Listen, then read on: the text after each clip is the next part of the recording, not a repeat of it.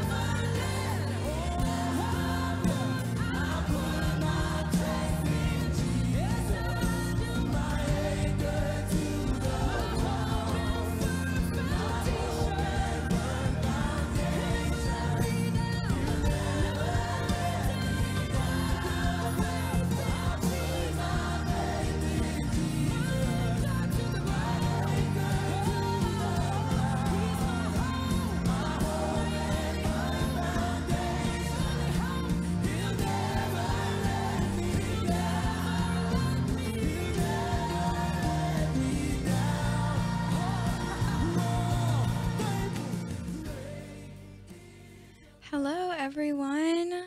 Welcome. Thank you for all tuning in. Um, this is Peculiar People. You are listening to WUCC 99.9 FM. I am host, Cassie Johnson, and with me, as always, your co host, Seth Wade. Hello. Hi. Hi. Um, yeah, like I said, you're listening to WUCC 99.9 FM, Williston, New Ellenton, Aiken. Yeah. All those things. I'm getting it. I'm gonna get it one of these days. Um, so thankful that you guys are listening on the radio or on Facebook or on YouTube or wherever you're listening. We appreciate that you support us and that you support the kingdom. So keep doing what you're doing because you're awesome. Anyway, thank you. I just needed a little pep talk for the peeps. Um, so if you don't know about us, you can connect with us. We have Facebook and Instagram because we're young and cool and hip and stuff. It's at peculiarpeople.cast. So that's C A S T. Um, you can listen on the radio. It's WCC 99.9 FM. Um, the other day, somebody asked me if people still had AM and FM radios because you know you have like XM and all that fun stuff. And I was like, mm hmm, they do. Yep, we're on one of them, so check it out. It's pretty, it's really cool when you hear yourself on the radio. You feel like you've arrived. Well, at least I do. I mean, I haven't arrived, obviously, but you feel like it for like 0.5 seconds, and then you're like, oh, okay, never mind. uh, so if you have something that you want us to talk about, or you just want to chat with me, I love a good email. Uh, our email is peculiarpeople999 at gmail.com. So email me, reach out. You can DM us on Instagram. I don't think you can PM us on Facebook because I don't know how to activate that. I'm figuring it out. Yeah, so that's that. The disclaimer the views and the opinions expressed by anyone on Peculiar People are not necessarily the views and the opinions shared by the people that own, staff, and sponsor the radio station. So, yeah, you know what to do with that. Hold it dear to your heart. All right, Seth, how was your week? Um, it was uneventful as always. I didn't, didn't really do anything other than school. I love that. Um, but yeah, I slept a lot and I got some really good sleep this week. Proud of that. That's that. good. Happy I'm that. Glad you got some good sleep. Um, Um, yeah. that's fun. My week was, yep, That good, huh? yeah, it was just so good, speechless. Um, but I did just want to praise God because He saw me through another Yeah, week. Here. and another year and my birthday's coming up and I'm getting old. Seth's birthday's coming up and I think you should all wish Seth a happy birthday from now until the day that he was born because he just loves birthdays so much. So I think you should. Hmm. I think you should tell him happy birthday. Yeah, um, but yeah, so yep. God is good Amen. all the time. And all the time. God is good. God is good. So I want to give a few shout outs. Hi, Miss Catherine. Hey, Liberty. Hey, Zach. We love you too. Um, thank y'all for listening. Share this if the Lord leads you to, but only if the Lord leads you to. Don't listen to me. Just listen to the Lord.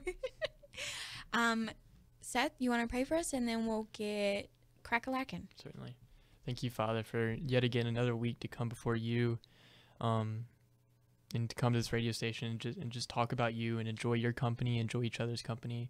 Pray that the words that come out out, out come out of our mouths would be the, your words, Father, um, and that we would be a blessing, and that you would be a blessing, because you always are a blessing uh, to the listeners. Pray all this in Jesus' name, Amen. Amen. That was beautiful. Thank you. Thank you, friend. So, what are we talking about tonight? Today? Is it nighttime? Is nighttime. What are we talking about tonight? We are talking about sticking to the plan. Okay. Which is, um, I, mm, I have mixed emotions about plans. Seth and I were talking about that, and the Lord has just kept saying that word to me for multiple different reasons, uh, in several different contexts. And um, so we're going to talk about God's plan and sometimes what that feels like, but all the time what it looks like and what you do when you're in the middle of it. Because we're all in the middle of it. We're all in the middle of life, even if you're at the end. Like this is the middle. It does that make sense? Am I expressing that clearly? I think so. Yeah. Okay. You know. It made sense to me. Okay, as long as it makes sense to somebody. Because it didn't fully make sense to me, but hopefully, when we start looking at the Bible, it will come together pretty clear. And if not, well, you have to pray about it because I don't know what else to do. You know what I'm saying. So, um, I'm going to give you a little histories, mysteries about how this popped into my head. And then we're going to start reading. Cool? Coolio. Thank you. You're trying to catch up with my crack-a-lackin', ain't you? can't do it. I'm can. just too funny. That's not it. Too. Anyways, um, so I was, the Lord has had me read Acts, and for those of you that don't know, I think Acts is probably my favorite, no, my least favorite chapter in the Bible. I don't know why, it just is. And uh, Seth and I are in a Bible study with some incredible people, and we've been reading Acts. And I was like, God, why, why would you want why would you want us to read Acts? And I thought it was for everybody else. No, no, no. It was for me because when we like took a pause with the Bible study, God had me read Acts by myself. Sorry, there's a bug. Yeah. Okay, that's fine. And um, this is why because he was trying to make this point because uh, since October I felt very stuck. And I don't know if anyone else feels like that. And I don't know specifically what happened in October. I could tell you some things that did happen, but I don't know if they're related. Oh, I just felt stuck. And someone gave me a wonderful prophetic word that says I'm not going to be stuck anymore. And they also said that this is going to be the best year of my life. And we're in March, and I'm like, mm, mm, I not that I don't believe God, but it just doesn't. I don't see. I don't see the plan. So we're going to talk about sticking to the plan even when you don't see it. And so just keep following me, and maybe it'll be one of those little sermonettes where you get it at the end or in the middle, as long as you get it. Yeah. Okay. Um, anything to add before we read? You got it covered. Okay. Are you sure? Mm-hmm. All right. Sorry, I had every time I adjust my mic, it does that. It's great. It's my favorite. So we're going to be reading about Paul. Everybody knows about Paul, I assume. Uh, tell us a little bit about Paul, Seth. Who's Paul? Kidding. Um, Paul was an apostle. He was originally a Pharisee that was persecuting Christians. Um, but on the road to Damascus, he had his come to Jesus moment, and he literally saw Jesus face to face. Um, and so he was blinded, and then he became one of the greatest apostles to ever live. Um, And he wrote like half the New Testament. Amen. Wow, that was so short and sweet. That was good, though. Um, what do you mean by persecute Christians? He either had them thrown into jail, Mm-hmm. killed, uh, taken out of their homes, some form of suffering, torture, something for their belief. So he was Jesus. meany weeny. He was mean. Yes, he was mean. Thank you. And so um, that's super important. It's important you know the background because we're going to jump in kind of towards the end of Acts. We're going to pick up at Acts 26. And so it's imperative that you know about Paul. So thank you for catching us up. I hope we're all on the same page now. Paul was terrible. Then Jesus grabbed him, and now he's on fire for the Lord. Mhm. Okay. There we go. There we go. Praise God. Okay. So Acts 23 11. I'm going to read it and explain it, and then we'll read some more. But the following night, the Lord, the, the Lord, excuse me, let me start over. But the following night, the Lord stood by him and said, Be of good cheer, Paul, for as you have testified for me in Jerusalem, so you must also bear witness at Rome. And um, a little backstory Paul's in jail, and you know, when Paul gave his life to the Lord, it got really hard for him really fast because of who he was and what he did. The people that he used to work with, persecuting other Christians, really just went hard on persecuting him. Mm-hmm. And it was just a if you read any of Paul's writing, you will see that it was a very hard road. But nonetheless, God was with him. Nonetheless, he had incredible favor with the Lord, and that is super important to remember. So, in this moment, he's in prison. And um, I'm sure he was a little distraught because the Lord appeared to him and said, Be happy, be of good cheer, because I have a plan. And you, the plan is for you to share the gospel in all of Rome.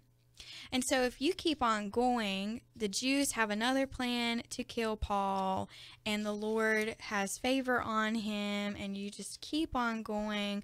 Um, Paul is on trial. He's been locked in prison, and he was um, held without cause, and he was a Roman citizen. So, there's a lot of stuff going on that shouldn't have been going on.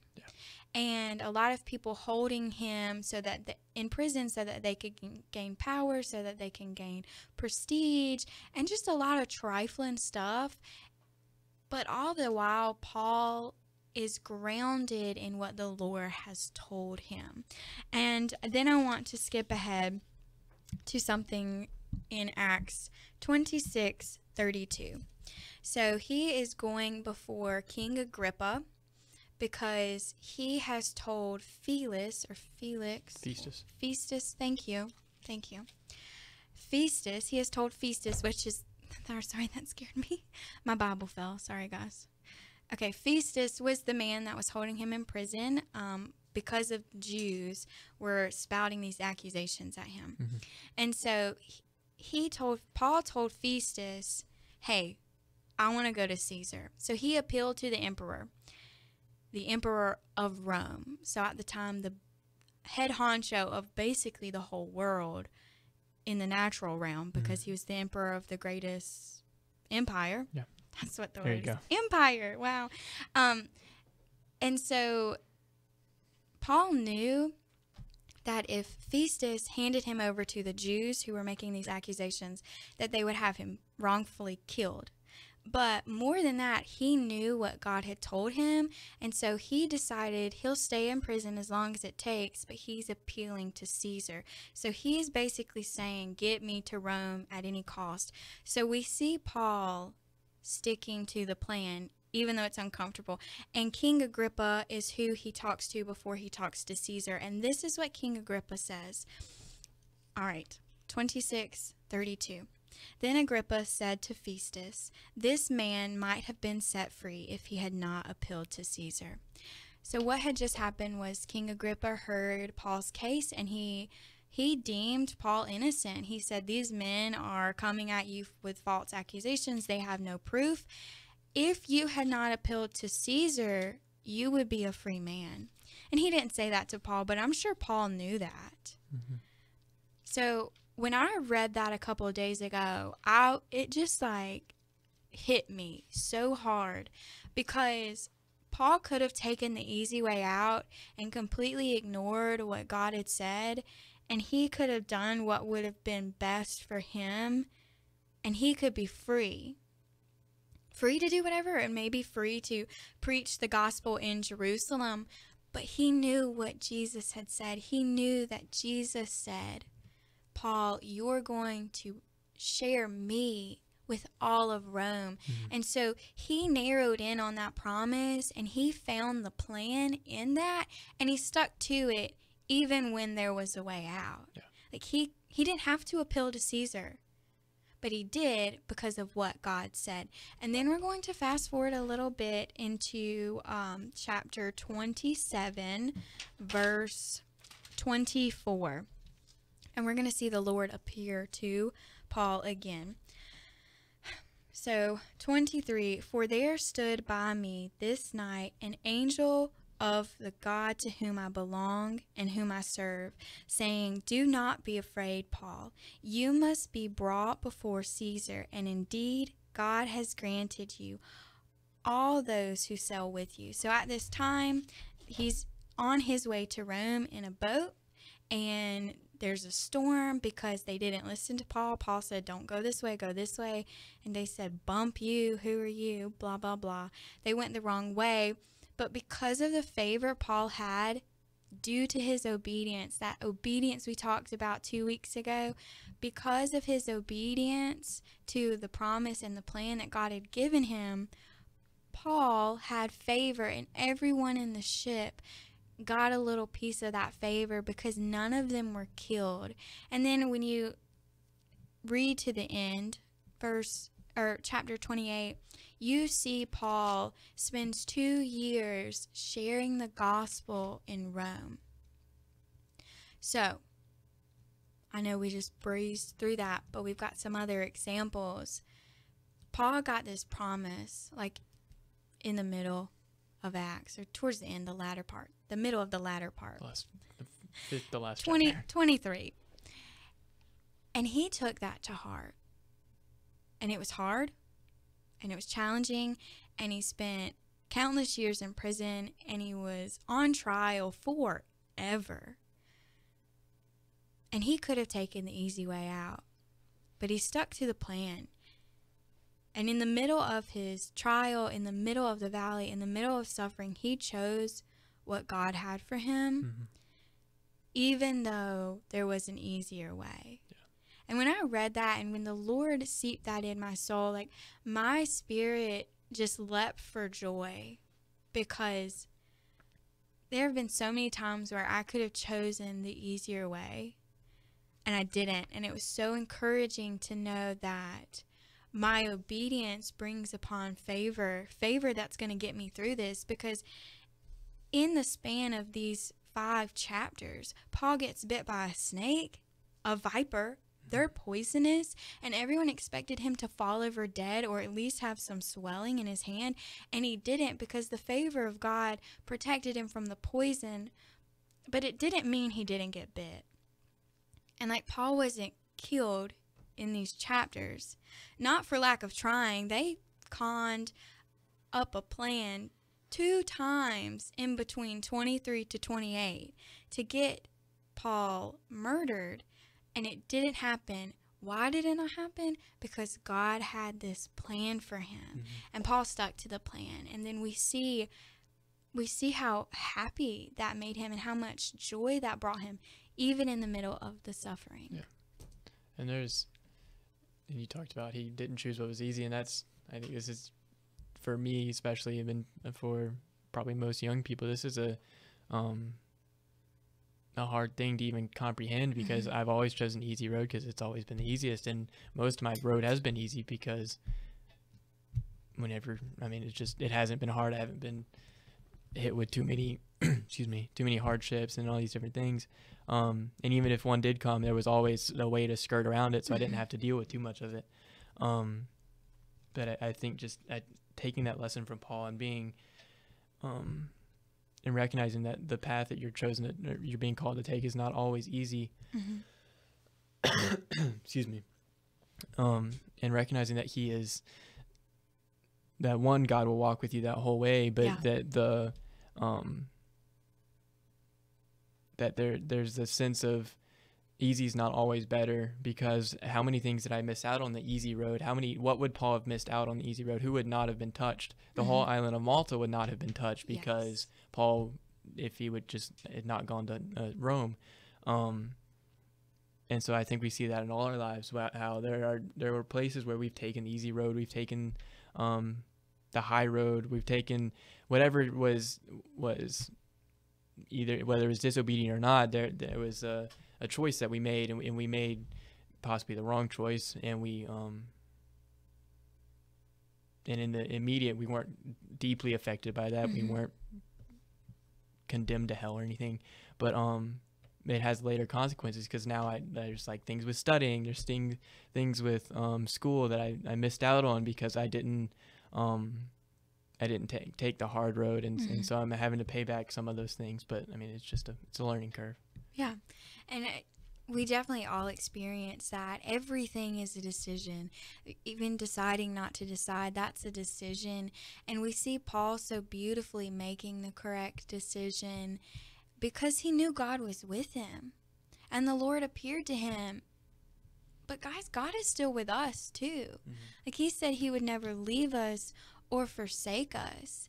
And he says in Jeremiah 29 11, For I know the plans I have for you. Plans to prosper you, to give you a future and a hope. And that was paraphrasing, and I really want to read it. So I'm going to flip to it and read it. That's not it. Here it is. I put a little sticky notes, but it didn't help me turn no faster. So, Jeremiah 29 11, For I know the thoughts I think towards you, says the Lord, thoughts of peace and not of evil, to give you a future and a hope. Um, in the King James Version, it says an expected end. Um, in the NIV, it says, For I know the plans I have for you, to give you a future and a hope. And when I tell you the devil had that so twisted in my mind when I was growing up, because Jeremiah is the book that the Lord first started using to speak to me. And so, of course, the devil's going to corrupt it. And I couldn't see that he was corrupting it. I thought I was using logic, you know. That's another story. But I used to think because in the King James it says, For I know the thoughts I think towards you. And in the NIV it says, For I know the plans I have for you. And everyone uses it to, you know, people make it a cliche because they're like, oh, God knows what He's doing. He has a plan for you. And I had such a hard time receiving that because I was stuck in the middle and I couldn't see that He had a plan for me. And I couldn't see how any of this was going to work together for anybody's good. And the devil made me think that God didn't know the plans he mm. had for me. He made me think that he knew the thoughts he thought he thought thought towards me. The thoughts he I don't know how do you verb that tense, but anyway. I had it twisted basically in my mind that God didn't have a future and a hope for me. He had an expected end. And the the devil just so got in the linguistics and so I couldn't stick to the plan mm-hmm. because I did not believe God had one for me. And I couldn't see that he loves me so much that he doesn't just have an expected end for me. He has a future and a hope for me, and that future and that hope is mm-hmm. in Jesus. And when you walk around hopeless, you're not going to make the difficult decisions. You're not going to stick to the plan. You're not going to do what Paul did and say, I surrender and I'll be obedient unto death. You're not going to take that leap of faith and appeal to Caesar if you don't know God has a plan for you. And you're not going to stand on the promises if you don't think the promises are going to weave together to make a beautiful plan. So you got to get that in your head first that He knows the plans that He has for you, and they're plans of hope and a future. But you got to stick to the plan. Mm-hmm. Everyone in Paul's life that we see in the book of Acts, so Agrippa, whatever, what's his name?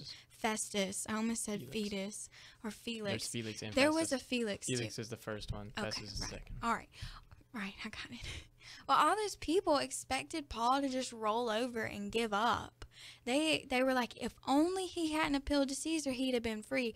And the world will tell you that you did the wrong thing all the way until the end.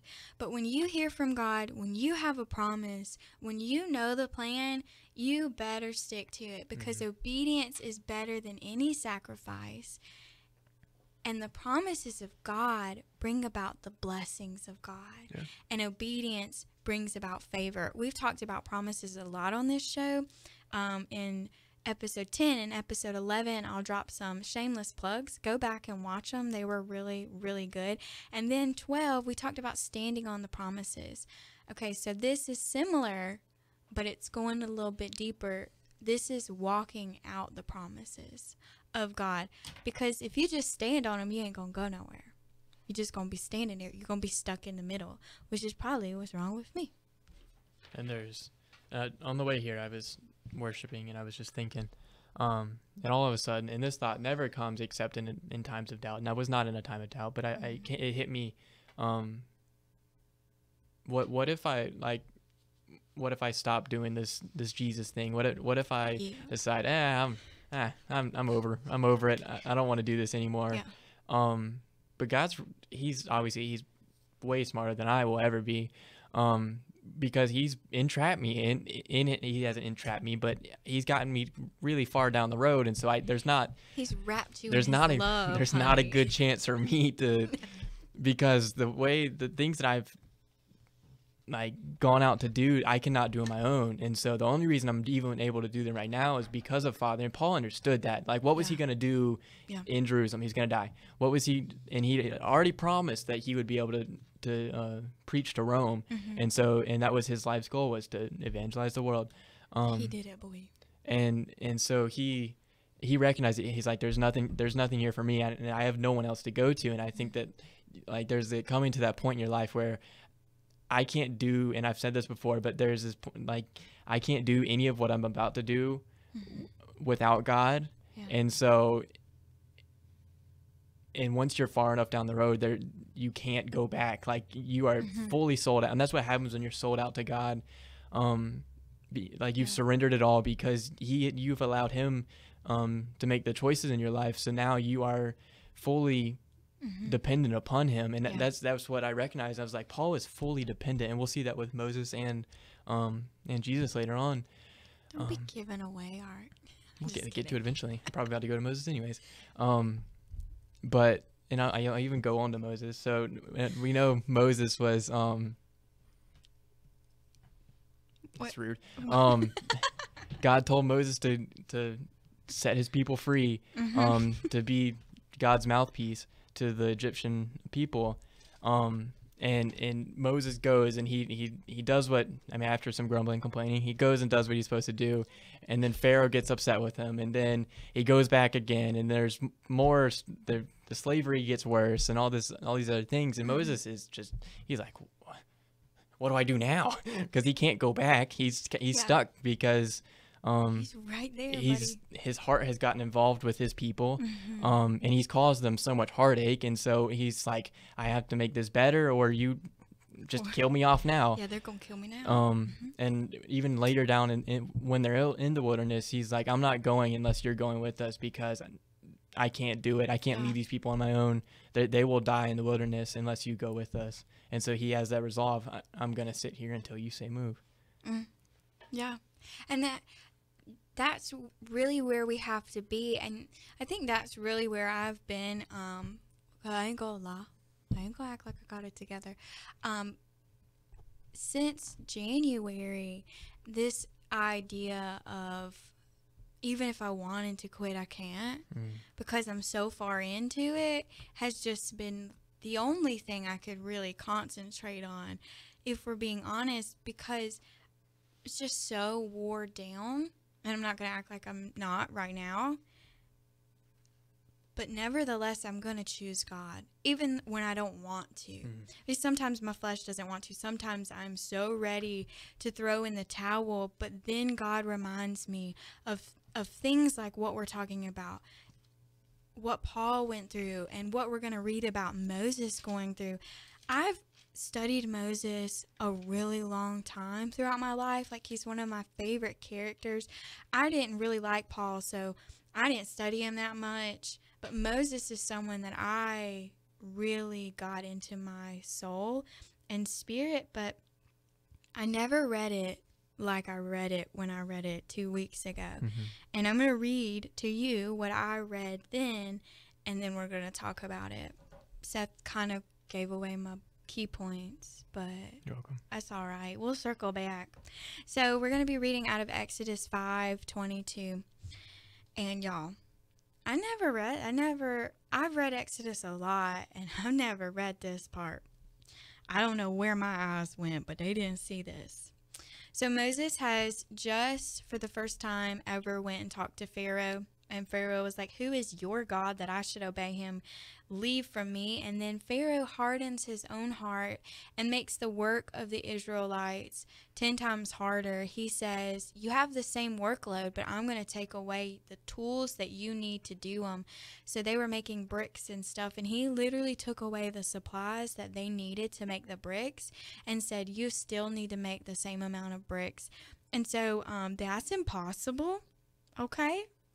Um, not like Pharaoh was easy on them in the first place, but he really cranked it down because he hardened his own heart, which is just mean. Just such a mean guy. And so Moses comes out from meeting with Pharaoh, and this mob of Israelites ready to choke this boy out. They're like, Who are you that you made our work so much harder? And this is what Moses immediately does. He leaves them and goes to be with God. So good job, Moses. And let's look at what he says. So Moses returned to the Lord and said, Lord, why have you brought trouble on your people? Why is it that you have sent me? For since I have came to Pharaoh to speak in your name, he has done evil to his people, and you have done nothing to deliver them. I'm not going to act like I hadn't been right there with Moses, saying, God, what are you doing? Why are you doing this to me? Why are you doing this to the people around me? Like, I don't understand. And even in the little um, words that they put to title the section, it says Moses questions God plan. I have questioned God's plan so much, and I'm sure we all have, because we, like Moses, are superhuman, and not superhuman as in we're incredible. I mean, we are very human with all of our humanity and flaws and brokenness. And when you're in the middle of what Moses was in the middle, God said, Hey, set my people free. This is how it's going to happen. And it doesn't look the way you interpret what God says, it'll shake you. It'll shake you. And we see it happen to Moses. But he had the right response. He didn't give up. He went to God and he listened and he stuck to the plan. And we see him go back and he God reassures Moses and then Moses reassures Israel and then God recommissions Moses and then Moses objects a little bit and then God reassures him again and then the first plagues start to happen. Mm-hmm. Read it for yourself. It's it's incredible. And read it not as oh this is a bible story. Read it as this is history. And when you read it with that lens of truth it will become alive to you but what moses couldn't see and what we when we're stuck in the middle have a hard time seeing is that just a few chapters on i think it's in chapter 14 god splits the sea moses couldn't see that far ahead Mhm. and if Moses had just give given up right then and there, I don't know what would have happened, but uh, I don't think they would have been set free quite as quickly. I'll just send someone else eventually. Yeah, God would have sent someone else because God does what God does, but it would happen a little different. Mm-hmm. And that's not being in God's perfect will. Because, see, in His perfect will, there is unmerited favor. It's not going to be easy. Favor doesn't mean it's easy, it just means God has given you the grace to do it. But if you give up, you forfeit all of that. And you know, where would Moses, like Seth said, where would Moses have gone? Have gone? He couldn't go back to herding sheep. Like once you encounter God, leaving it's an option. Mm. But really, what are you going to do with that? Like, what kind of what alternative is that? I know a lot of people in my life who have experienced the glory of God and have chosen not to follow Him, and their lives are not pleasant or pleasing. And I'm not saying that my life is the greatest thing in the whole wide world because right now it's it's really pretty crummy and it's pretty difficult, but I have hope in Jesus. Like that song we listened to on the way in, He is the anchor in my storm. So I'll put my faith, my trust, all of me in Him because He keeps His promises. And when you're stuck in the middle, you have to remember the promise and you have to focus on Jesus to walk out the plan. And we see Moses doing this, and we see Paul doing this, and we also see Jesus doing this. So tell us a little bit about Jesus, Seth. Or did you have something to say about Moses before we skipped ahead? I did, but I lost him. So I'm sorry. Next Um, time, just jump in there. no. Jump in Um, there, champ. Well, Jesus was i- is Amazing. is the Son of God Hallelujah. and our Savior. and Yes, I yes, love him thank you, very Lord. dearly. He's my favorite. Sorry, Seth. Jesus is my favorite. Uh, eh. I guess that's a good. I'm a good runner up to Jesus. Yes. Oh, I'm gonna while you're flipping, I'm gonna give some shout outs. Hey Shakila. Hey Rachel. Wow, y'all are popping on the feed. Hi Connie. Oh, hey Pastor. He's watching. He said great show. Thank you. Thank you. Okay, were you done talking about Jesus? I'm not. Yeah, go ahead. Okay. I Can't find. Okay, Oh, so I'm going to a um different book of the I hope you all know Jesus. If you don't know Jesus, he is a dear friend of ours, and you should really get to know him. And I'm not being funny, Seth. I'm so serious right now. Um, the story of Jesus, he was born of a virgin, Virgin Mary. And the whole Bible is really about him. Like, even the Old Testament all points to Jesus. And he grew up, and he grew up perfect. He lived a blameless life. And then he after doing all these miracles and signs and wonders, he sacrificed his blameless life, his perfect life, so that we could be his friends and so that we could walk out eternity with Father, so that we could be connected to God again in such a real, powerful way, relationally, so that we can be sons of the Most High King. And while Jesus was doing it, while he was on earth, he did not have an easy time. He was the Son of God, mind you, and the devil came at him like he was his home dog that had just uh, betrayed him, or so to speak. I don't know how to put into an analogy what the devil did to Jesus, but he ultimately, along with our sins, put Jesus on a cross, a cross that took away all of our sin and shame. And he shed his blood for us, his perfect blood, to wash over all of our sin and shame. But before that happened, Jesus has a very important conversation with our Father, his Father. And it's it's very important that we look at this as a man suffering because he loves us, Mm. but he's suffering. Yeah. All right, I didn't mean to cry. anyway, okay, so we're gonna read it, and I'm gonna try not to. I'm gonna try not to cry, but Jesus is just so amazing. Okay, it's Luke 22, 42, and I really, I just love this because it's so encouraging to me because Jesus is perfect, and let's look at what he says to God.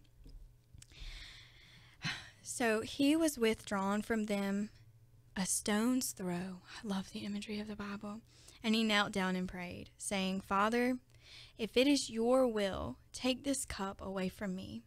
Nevertheless, not my will, but yours be done.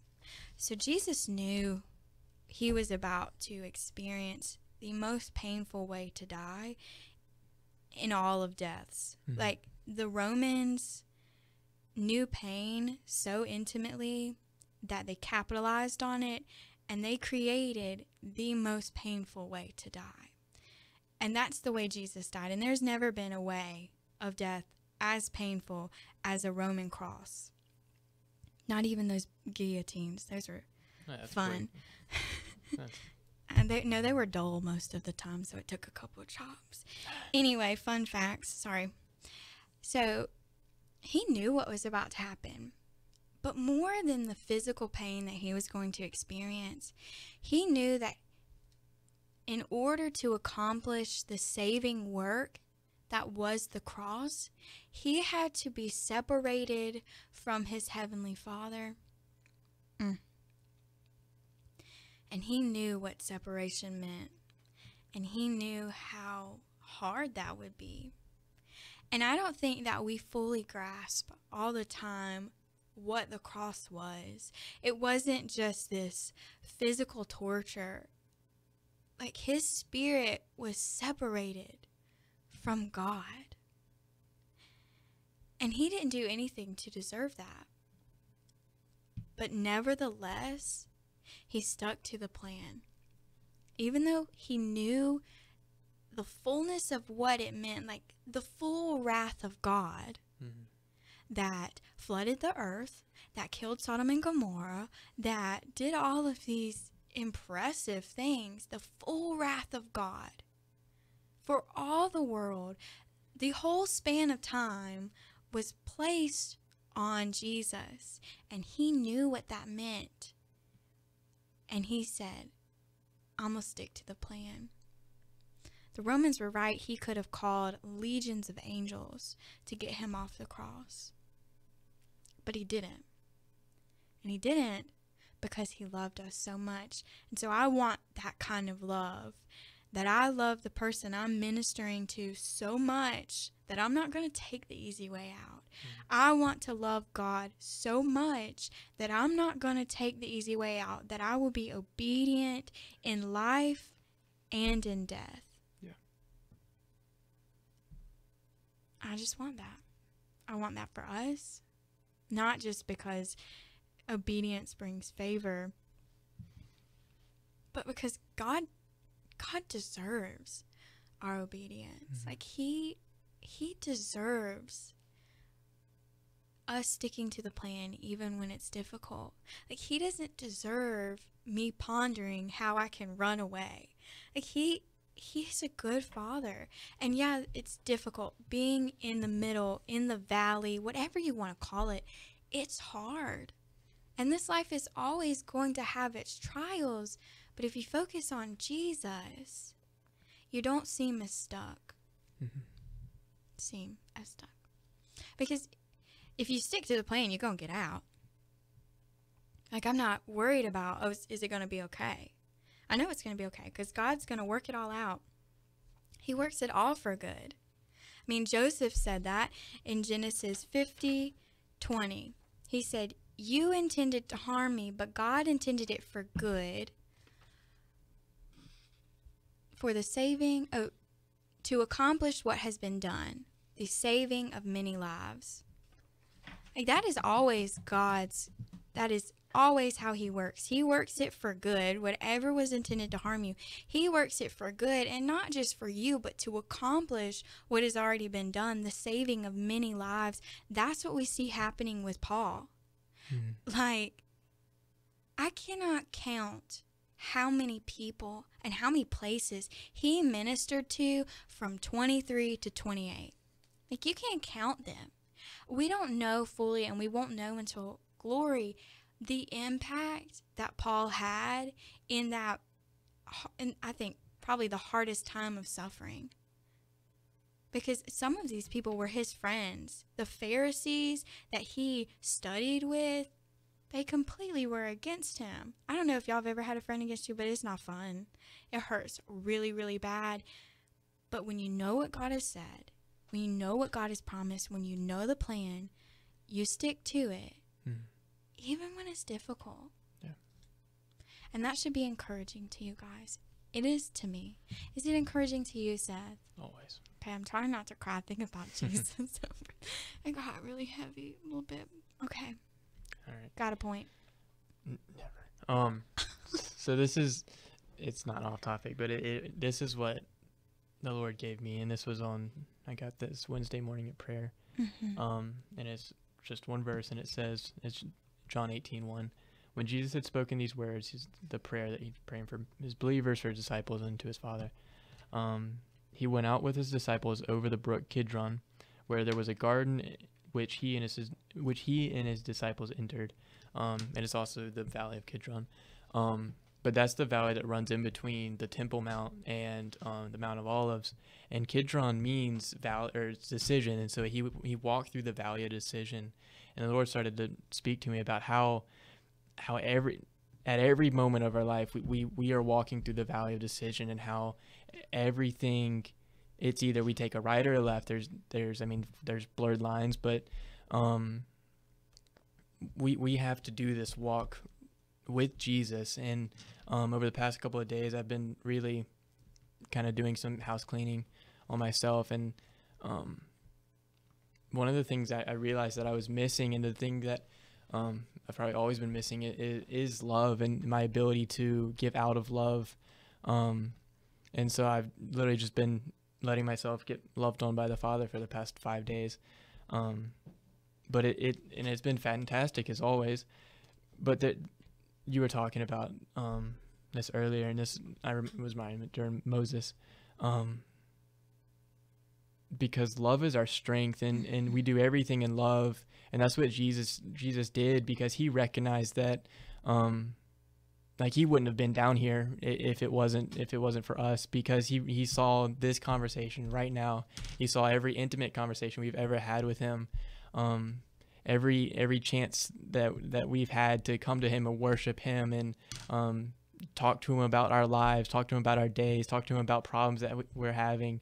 Um, he saw all the times we'd be difficult, st- stiff-necked, all the times we would be um, just a real pain in the butt, and and he was like, "Yep, I love I love Seth enough to I to die on the cross. I like you said, I love each one of us enough to die on the cross in the worst way possible." because it's worth it and and I, I, see what what will happen because of uh, because of my death i see what they will achieve and that was his hope and that has to be our hope that, we- that we love father enough and we recognize this may suck right now this may suck um, from here on out like our life may be just a, not not great. Um, but we have to recognize that that we we do all this because we love father Yeah. and and this the the thing that we will get to spend eternity praising him and worshiping him and doing whatever he's called us to do in heaven. I don't i don't know. Um we'll figure it out when we get there. yeah i'm not worried about that right now. But all the things that he has promised to, to us our, our inheritance. Um and even when we do turn unto the prodigal son and we run off to the the foreign land. When we Jonah it. um yeah and, and we're disobedient. However we turn away from father he is always at the end of the road just waiting for us to come back. And he'll never not be waiting on the end of the road. Yeah. and of course we grieve his heart and and we we hurt him. Um but his love is so much greater than that hurt. And Yeah. he he's willing to give us of himself because that's what it talk that's what the aramaic is for that story. He's willing to give of himself um and I, I think that's the key to sticking to the plan is recognizing that god has given you himself. He's Mhm. given you jesus. He he has given you the tools that you need to succeed. And so whether you choose to back down now or back down um or not back down like that that is the if you back down there's repentance there's forgiveness and there's always Yeah. turning back to father but it just think about what you can achieve in the smile you put on father's face because he was not difficult he was not stubborn Yeah. and he and he loved me enough to do what um what I called him to do yeah. and and it's building that relationship and um this guy I used to listen to he was like God doesn't really care he's like really care what you do he's um and he had put it in this picture of how like a, a little kid will paint a picture and it'll be Ugly. not not not a good picture at all um and father will love it enough that he'll hang it up on the fridge for everyone to look at Because that's what um you do. and that's that's what he sees sees us Mhm. the same way he's like yeah. he he did it for me and so That's I right. could I can't and we probably will screw up because you know Oh, we yeah. are human Yeah. um but I think it's just that that act of obedience and saying okay yes father I'm I am your servant I surrender um I will be obedient with whatever you tell me to do and he's going to put that on the fridge because he is proud and he wants to show that off to everyone that you are obedient show it off to all of heaven that Yeah. you're obedient yeah, he doesn't require our perfection. Mhm. You know, if he if he expected us to be perfect, he'd have made us a little different. But he does require obedience. And obedience is so pleasing to him. Just like Seth said that he slaps it up there on the fridge. Even when even when we misstep in obedience, which doesn't make sense, but the Lord's unpacking that to me.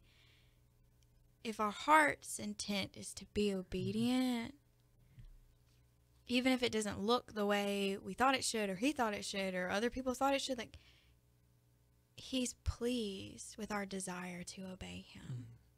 And he works out of the intent of our heart because he sees our heart um, but like Seth said don't be stubborn. Psalms 32 9 says that. It talks about don't be like a mule or a horse that has to be hooked to a bridle and jerked around. I don't know if you've ever ridden a horse but they put this bit in their mouth and it's so uncomfortable that the horse the horse follows everywhere you pull that bit. God doesn't want to pull us around like a mule so don't be stubborn because he's not going to do that. He's not going to pull you around like a mule because he loves you. He's going to wait for you to obey him.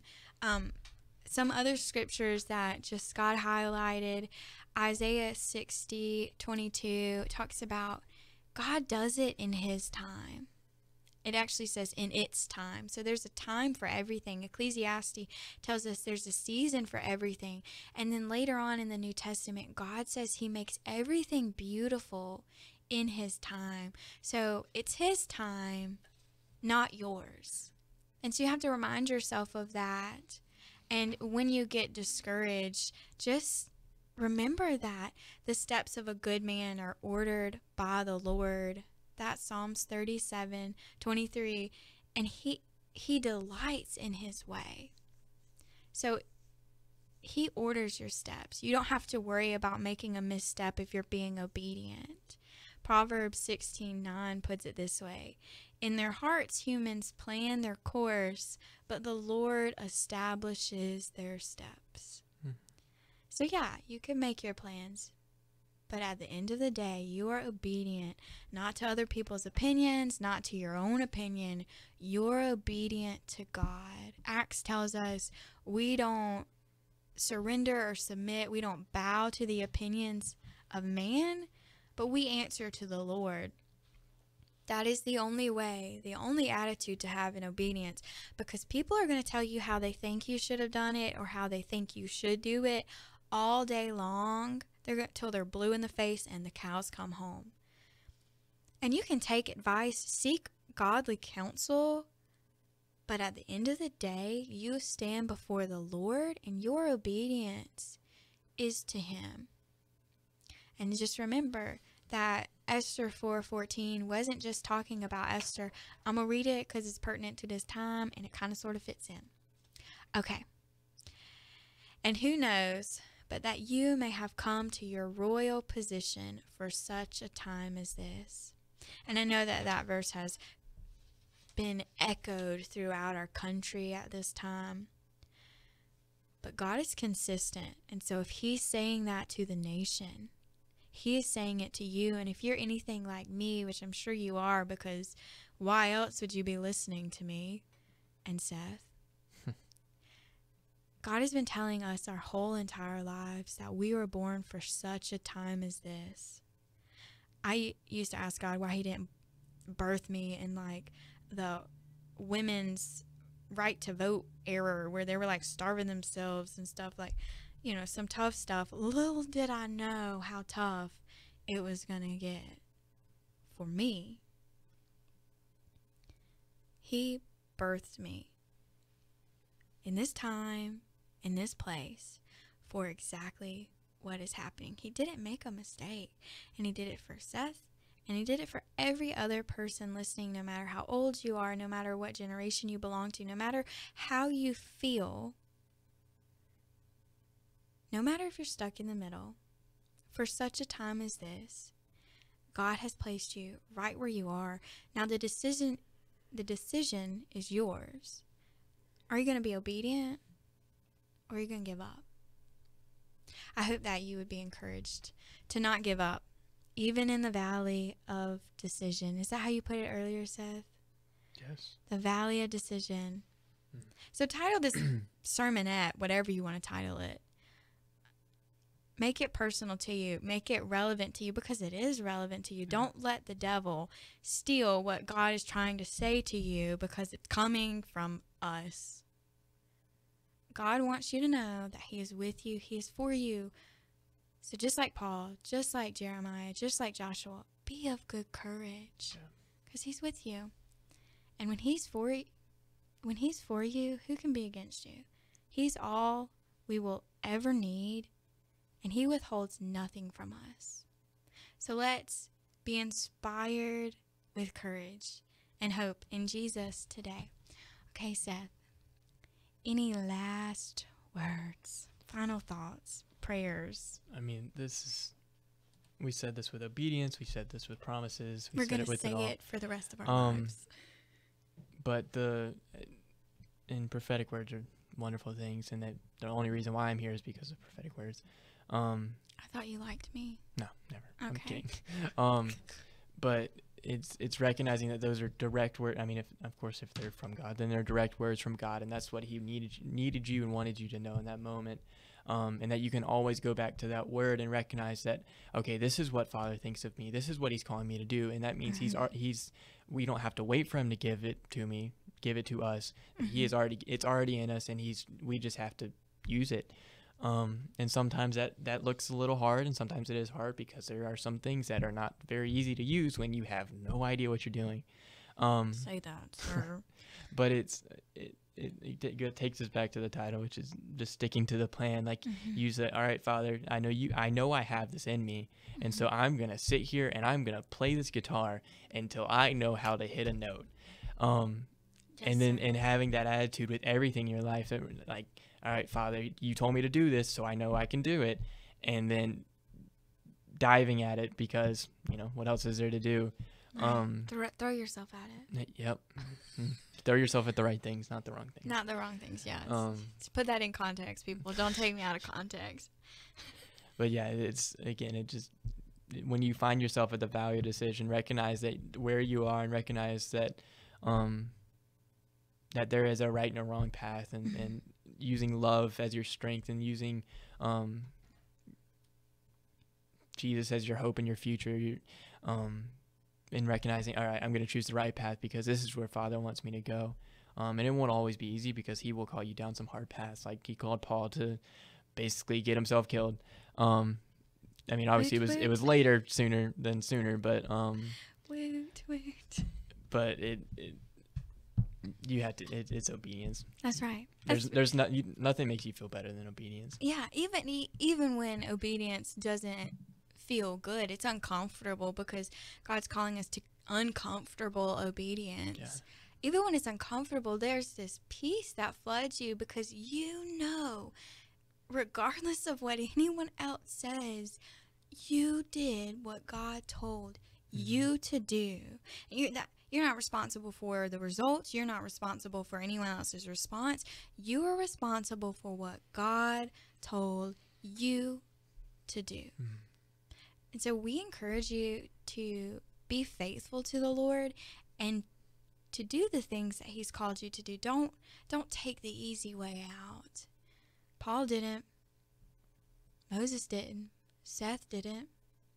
And we don't want you guys to either because well, we kind of love y'all. Even if we don't know you, we love you all.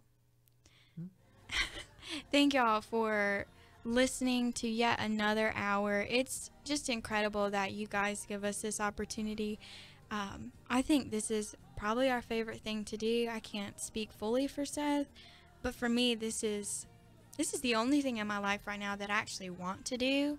And so I thank you guys for giving us the opportunity to do it. Thank you, Seth, for always being obedient, even when it's difficult. I know sometimes I'm difficult, so I thank you. Shout out to my friend. So until next time, guys, be encouraged. And encouraged means inspired with courage. So be of good courage and do not fear because the Lord is with you. No matter where you go. We love y'all. And we'll see y'all next time. Be blessed and be a blessing.